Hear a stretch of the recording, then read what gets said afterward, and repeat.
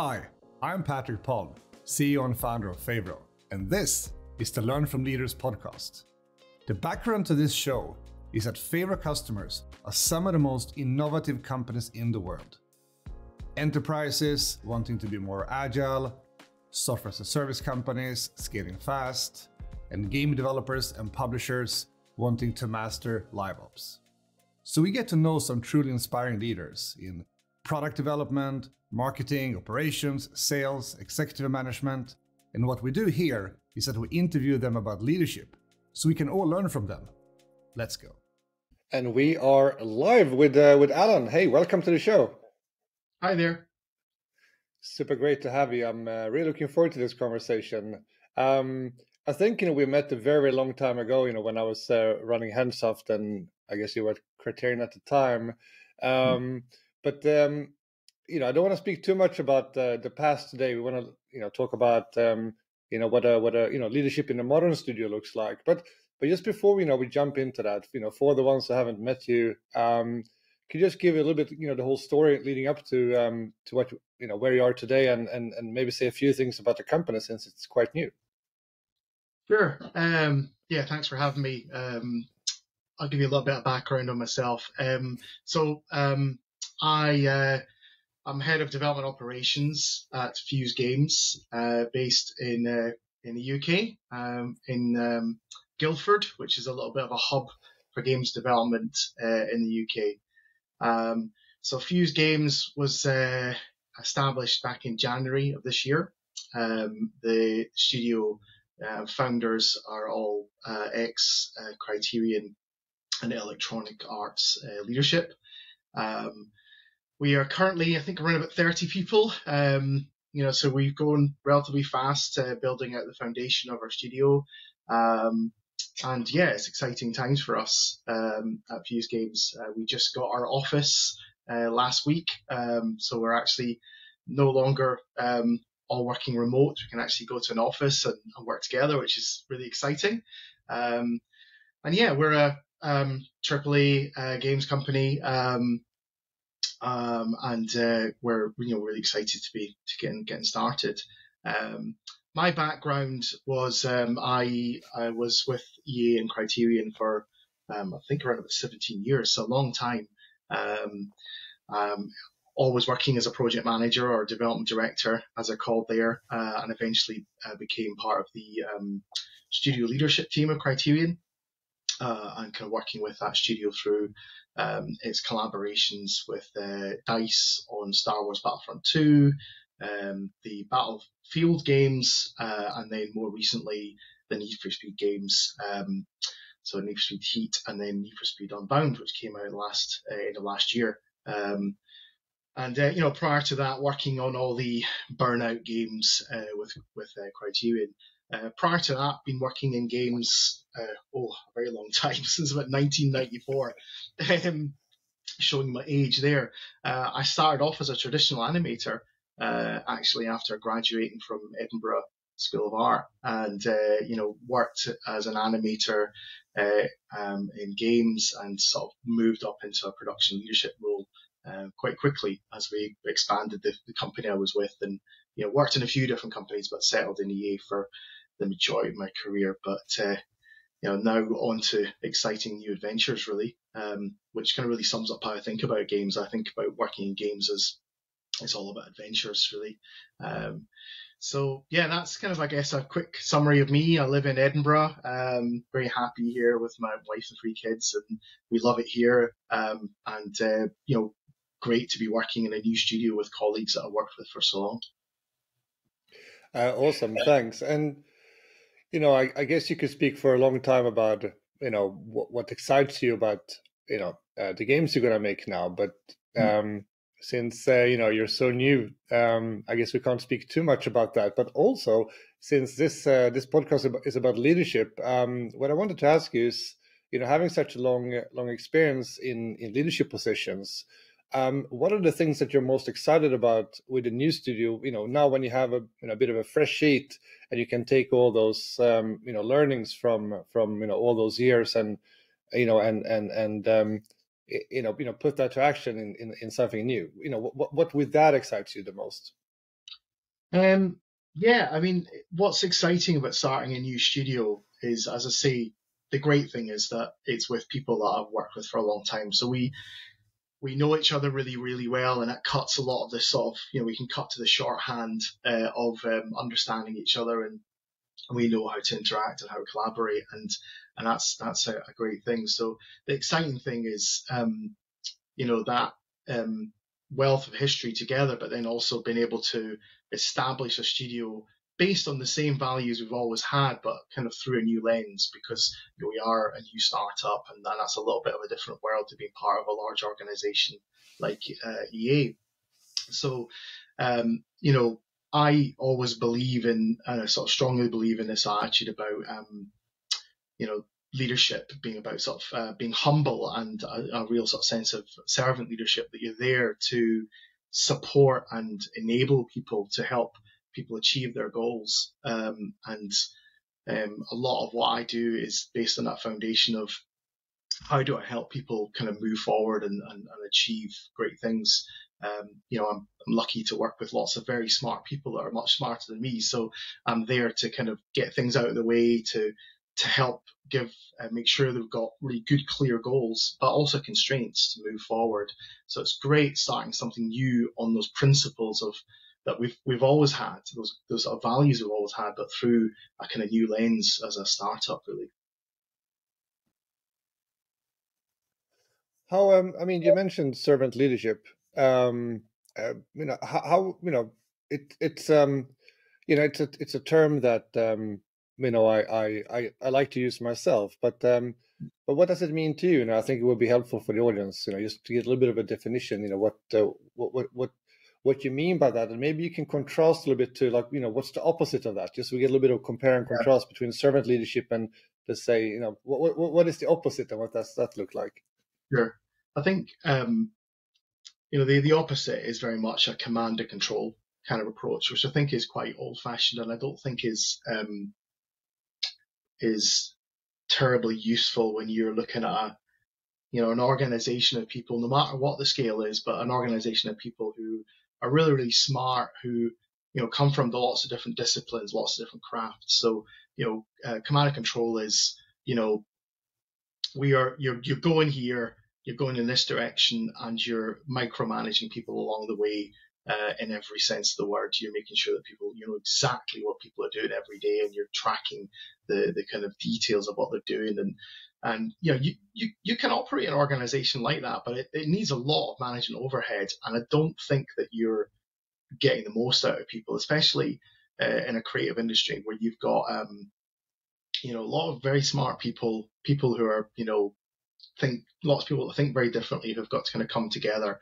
So I think um, the approach that I sort of think is is kind of more useful is to to is more of a servant leadership approach, which I think really for me that means you're giving people really strong, clear goals. You're helping them understand what we're trying to achieve, but you're giving them context, lots of strong context to understand why, you know, what we're trying to achieve, what are the benefits, uh, and then importantly, you are given um, constraints as well. So you're saying, hey, we're we've got this amount of time we've got this amount of budget and we're trying to go here uh, and here's why. Uh, and you know you know then giving people um, with that that clear goal you agree with them and those constraints you're given kind of giving them the autonomy within that to figure out how they achieve that goal.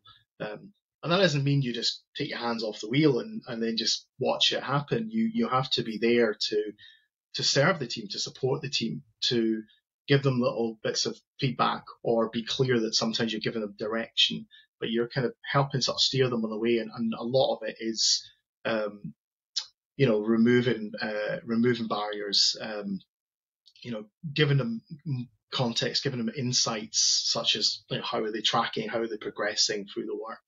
Um, that I think is the difference. You know, command and control, very directive and with heavy management overhead versus a uh, more servant-based approach, which is about goals um, with constraints and kind of enabling and supporting people to achieve what they can achieve, which is, as I say, I think far more useful for uh, you know trying to make something that's creative, like a video game. So I have a um, have a follow up question to that. That um, you know, to to just to make this a little bit more challenging. So, um, if you um, you know, how do you think about senior talent versus junior talent? Because you know, when I think about servant leadership and and you know, listening to what you're saying, it's a little bit the whole kind of you know, you know, why and what versus you know, mm-hmm. the talent takes care of the you know the how, and you don't micromanage that. But but if you also have some quite junior talent, I mean, they might you know need some hand holding also on on on on the how. I mean, how do you solve that? Do you do it by kind of mixing senior and junior talent in the team, or do you simply only hire senior talent? Or I mean, you know, what's your thoughts around that? I think, um, yeah, you do need to recognise that you know maybe more junior people need a bit more guidance, absolutely. Um, but I think um, everyone um, everyone benefits from context. Um, so I think that it's important to give context and and you know as much of that as feels like responsible to do, right, and the, the right thing to do, right. So you do have to recognise that some of the more junior people need a bit more support and guidance. Um, but I think everyone benefits from from context because um, everyone is able to determine to some degree, you know, or have an insight, a point of view in like we're trying to achieve this goal and here's how I think I'd like to achieve it. Um, they just might need a bit more help if they're more junior to figure out that path.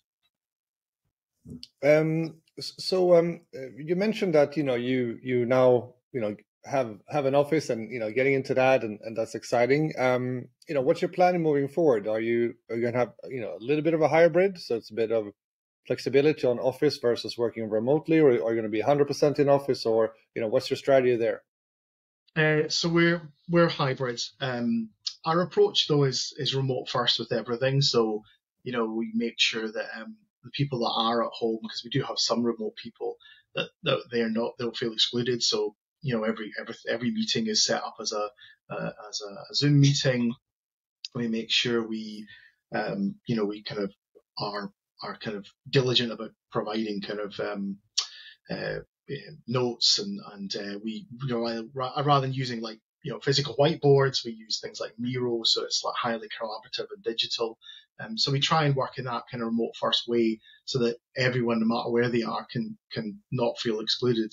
Um, but yeah, we're look we're we're moving to a hybrid model where we have um, a couple of days a week which are kind of mandatory in the office days, and then the office because we've not filled the office yet, the office is available to everyone who wants it for the rest of the week.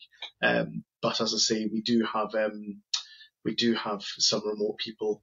Um, the the thing I'd say though is that for us, hybrid isn't hey just come in when you want to come in, um, because if we approach it like that, then you, you end up in a situation where a, a small team or uh, or group of people are working together, they don't kind of sync up at the same time. So very quickly they they they can end up thinking, well, what's the point in me being in because my colleagues are not in on these days. So what we try and do, as I say, is have a mandatory two days um, that people are, are in so that we maximize that time where the majority of people are in on those days and able to collaborate together rather than this sort of very distributed approach. So that's, we take a slightly different approach with hybrid than maybe some other studios that are much more flexible with that. We, we try and make it those fixed days so that people maximize that collaboration time. Cool. But I like the thing you said with, uh, you know, remote first, you know, so that you know whoever is remote will always feel like you know the part of team. We we actually have exactly the the same the same principle since you know we do meet from time to time, but but you know no one who's remote should ever feel like they're kind of like you know a satellite. You know they sh- they should mm-hmm. be feeling like they're part of the core. And you know I, you know you you you dropped uh, Miro there, so I have to plug one thing, which is that you know we're, we're soon to release um, a really great uh, integration between uh, you know Favro and Miro. So you know then you know, since you're using both, you know, now you can use them uh, in, in, in tandem. Um, but enough of the of the plugging there. Um, so, uh, what about um, you know autonomy? Um, you know, I guess you know this way of working requires quite quite a high level of autonomy. You know, not only because you um, um, you have a hybrid model, but also because of the high level of, of trust you seem to put into uh, in, into each team member. Um, I mean, if you would make kind of a you know top list of important things to do as a senior leader to to to actually create autonomy in the team, I mean, um, you know, what what what would be your um, what would be your top tips? I'd say it comes back to um, being having very clear goals that are agreed upon, like what are we trying to achieve, and that's a that's kind of like a contract almost that you're agreeing to. So that's the that's the first thing that's really important to have, um, so that you know someone understands and you're agreeing with a an individual or a group of people what this is you're trying to achieve. So that's the first part. But then also with that, um, very uh, clear constraints. Um, and you know, constraints can be come in a number of ways. It can be, you know, the obvious things are time and budget, but it might be, um, you know, we're making this game feature and it has to it has to um, behave a bit like this. For example, you're you're given some sub constraints. So, and then within that, the the the the individual or the group of people have got a degree of autonomy to work within. But then also um, regular review. Um, something that's very core to, to, to us is that sort of um, um, build it, play it, change it loop. So, you know, we're a sort of uh, software first in terms of how we think. So, you know, regularly kind of checking in with people, regularly kind of reviewing where thing where where they're at is really important. But then also being very clear with feedback. What is feedback for people to just consider and think about, uh, and what is direction um, being really clear on the difference there is important so that you're helping steer people uh, when they've got that kind of um, they're working with that autonomy to try and achieve their uh, their their goal um, and that all works well when you know you're working with a, a, group of people who are like working in a very collaborative way um, to achieve achieve those goals I think do you uh, do you find that you have to uh, recruit somewhat um, uh, differently um, to optimize for for these things? Um, I think that um, to some degree, I think it's very important for us that um, you know we've always been very sort of values led as as a as a team, or and certainly Fuse as organisation very much about that. So you know when we when we are sort of looking for talent, and obviously right now we're kind of growing the studio, so we're you know we're looking for people and, and hiring all the time. Um, we we look obviously clearly at the sort of skills and experience and, and you know fit from that perspective, but we put a lot of energy into trying to understand if that person um, fits with our values. And that's not that we want everyone to kind of be the same, but um, we you know we want people to bring fresh points of view. But you know we think about our values. It's you know for us it's about a love of games, a love of making games, but we're looking for people who are you know, energetic collaborators who, you know, you know, but also who bring a sense of urgency and want to move forward, but believe that the way to do that is by collaborating rather than being a, an individual sort of hero, you know, um, and you know that people who are are who are you know happy and comfortable to share their work and like to to get involved, um, as well as you know um, people who are kind of have that learning mentality uh, but also have a sort of sense of being, being humble in themselves as well. So, you know, we look for all these qualities uh, in people. We look for, look at fit very seriously, um, because, you know, we, we, we know that, um, I, always think that values are, are just you and your best day, right? It's like who you aspire to be, and you're not always that person, but you want to be that person. And sometimes you are, and sometimes you're less like that. So we want people that share that ambition and those qualities. Um, so we do have to put energy into that to make sure that the, the people that join us kind of have those sort of uh, some of those beliefs, but but can bring bring a little bit of their own flavor to that. You mentioned um, you mentioned the collaborative approach. Um, so when it comes to you know uh, collaborative you know you know planning and you know development in general, um, you know what are the um, um, you know, what are the key things that are important to, to make that really work? You know, apart from the things you already said, but maybe you can also share, you know, some of the things that you know maybe you have experienced, you know, that kind of breaks, you know, the collaboration. You know, some some of the mm-hmm. things that you know you need to watch you know if you're you know you yourself as a servant leader you know you know it's it's it's also about i guess watching out for when you see some some uh, things happening that you know maybe you, you want to kind of nib in the bud yeah, I think so. Uh, first of all, collaboration for me has always been personally hugely important. Um, I always think that everything I do is like not very good like, until I sort of iterate it and involve other people. So, you know, I like to have an approach where I sort of a sketch of an idea that's there to help, you know, a conversation get started. And it's always better than that than a blank sheet of paper. But, you know, starting with that and then collaborating with people to make that idea, you know, good and hopefully great is kind of, you know, it's, it's the heart of who I am. Uh, and at the heart, I think of a lot of the people in the studio, that's who they, who they are. They believe that deeply. Um, so with planning, I always think about, um, you know, the, the biggest value of planning is about a group of people coming together, trying to un- understand what they're trying to achieve and the work within that, and then aligning, reaching an alignment on that, and then making a commitment to that, and then moving forward with that. That's the biggest benefit in planning.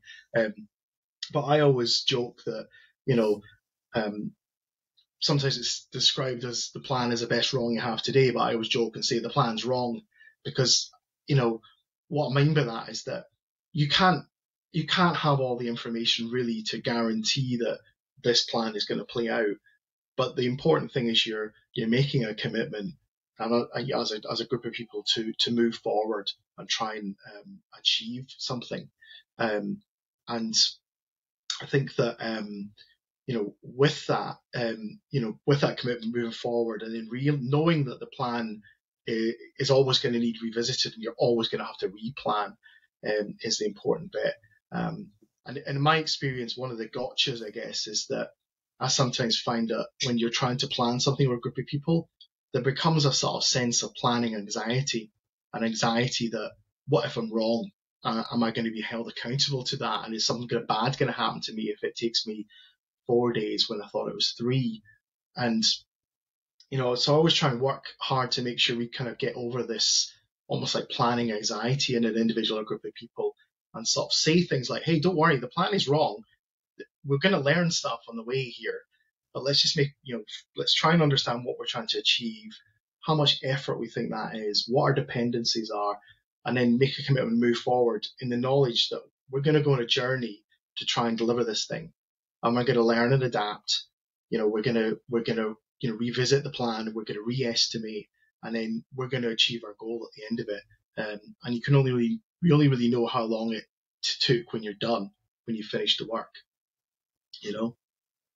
And I mean, you know, when you have this very collaborative approach, I mean, everyone's also very involved. So, you know, there's, there's a much bigger sense of, of ownership. So I, I, like what you said about, you know, planning anxiety there, you know, and, and how to, how to tackle that. That's a, that's a good point. But I mean, if I, I, will throw out something you know potentially controversial here. Um, I think maybe some of that also comes from that, uh, you know, but you know, an observation from from from you know my view is that there's still you know quite a lot of um, you know pattern going on in the industry where where managers are basically trying to you know plan away uncertainty. Um, you know, basically, you know, if you if you can create this like massively detailed plan, you know, suddenly you have planned away uncertainty. You basically end up with an old school, you know, Gantt schedule. And mm. and and then of course I think that creates a lot of fear, you know, because there's someone else who's made that plan and then holding you accountable to it instead of mm. this more collaborative approach. So I mean, since you've been around for, for a long time and, and you know have have a you know I think a you know wide view on the industry, do you, do you agree with my statement that we're we still haven't you know not we haven't we haven't got further than I, I hope that we got at this point in, in the industry that we still have a lot of these kind of old patterns, you know, leftward, you know, trying to you know plan away uncertainty, or instead of yeah. having having it more of a collaborative experience, or or you know, what what, what do you think?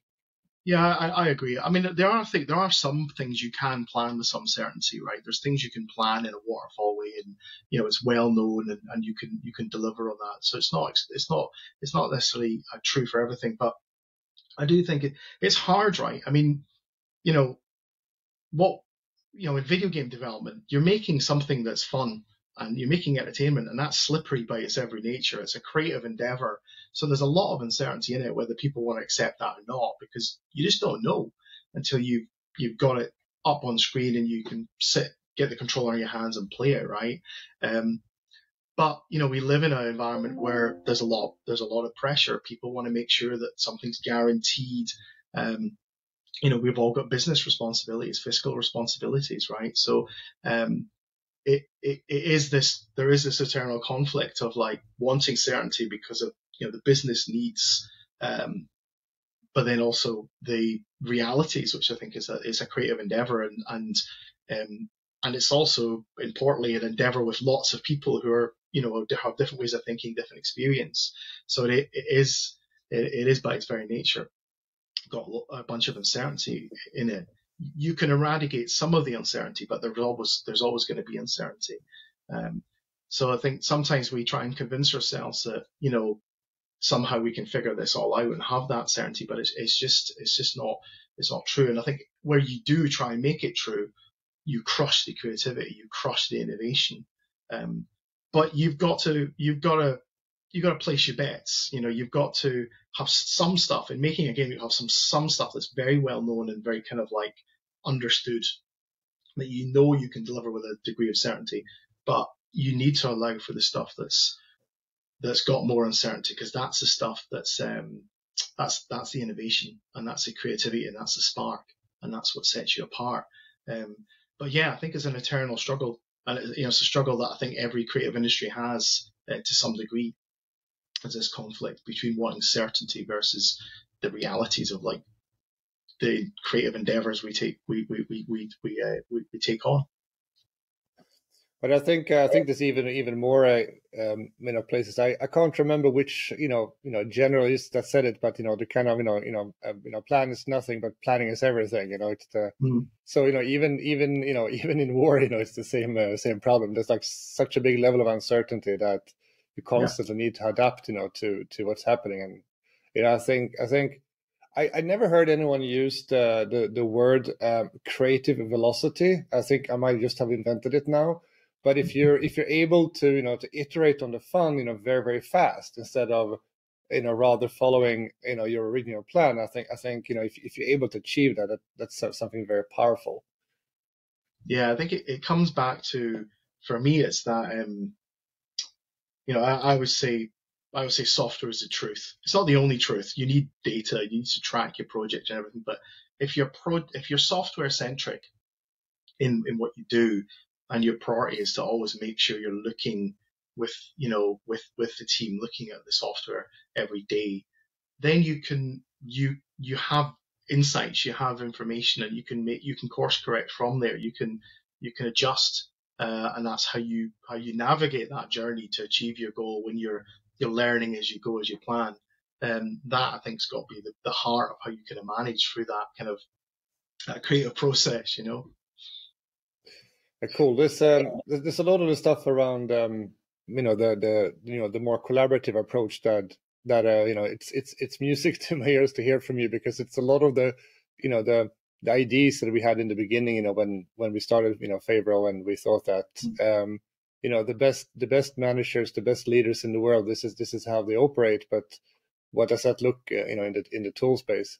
You know, before we wrap, I know I, I do actually have to ask you, you know, one Favro related question. You know, since since we do have some alignment here on, you know, our our focus on on uh, on collaboration. Um, did did you did you did you see that in the design of of of, of and that was uh, uh, an important factor when when when you chose Favro because I mean you must have seen every tool under the sun or was it was it simply something totally different? No, hundred percent. For me, the, what I loved about Favro is that um, I look for tools that make it easy for a team to sort of collaborate and get around something, and and the the sort of you know, the, the, the tool set and, and, and what we have with, with Favro is enables that. It, it makes it really easy, easy for a team to get around something, to build a plan, to iterate a plan, to understand the, the journey that they're going to go on. Uh, and also, you know, it's powerful and flexible to adjust as they go. Um, you know, because there's, there's nothing worse than putting, um, there are lots of different ways of doing this, as you say, right? But if you put something that's like a database in front of a team, they're not going to engage with that as a, as a plan. A plan is useless if it's just something that the project manager worries about. Um, you've got to have something that is easy for the team to engage with as a group and, and collaborate. So um, that that's exactly what we look for, and that's what we find find great and favourable um, right now. Uh, awesome. So thank you so much for um, for having this conversation with me. Um, I'm very much looking forward to see you know the games that's going to come out of this new studio. You know, obviously you and you know, and your your fellow founders and team, you know, have a have an amazing track record of creating, um, you know, truly great, you know, games for for a long time, and you know, now in the you know coming out from from uh, you know studio of your own um, that that's that's truly exciting. So um, so really looking forward to that. Thank you so much. Thank you. It's sure to be an adventure that's for sure. Thanks everyone for listening and uh, see you in the next one i hope you enjoyed this conversation if you did you know what to do share it in your social media so more people can take part and learn and one more thing check out Favro Academy on favro.com. For many more learnings, thanks for tuning in.